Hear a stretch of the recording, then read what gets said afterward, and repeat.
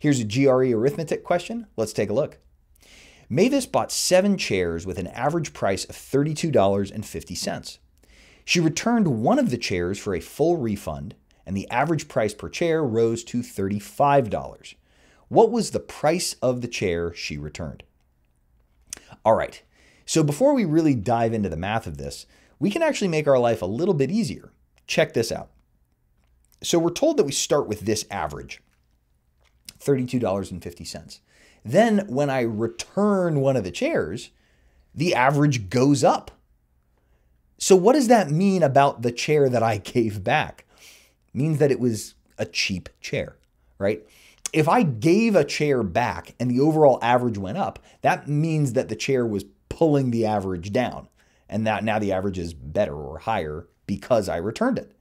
So that means that the chair was cheaper than $32.50, right?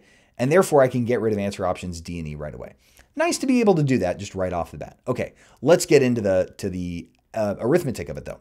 So we whenever we're dealing with averages, we want to write out the average formula, which is something I call SNA. The sum of the numbers divided by the number of numbers is equal to the average. So the sum of the numbers divided by 7, because there are 7 chairs, equals $32.50. Well, I can tell here how much I paid for all the chairs, the sum of the chairs. I'll multiply both sides by 7 with my calculator and get that sum equals 227.5. There we go. So that's that. All right. Then we look at the second stage of the problem. I gave one of the chairs back, so now I only have six chairs. And again, with SNA, the sum of the numbers divided by the number of numbers is equal to the average. The sum divided by 6 is equal to 35. And so I multiply both sides by 6, and I find that the sum is equal to 210.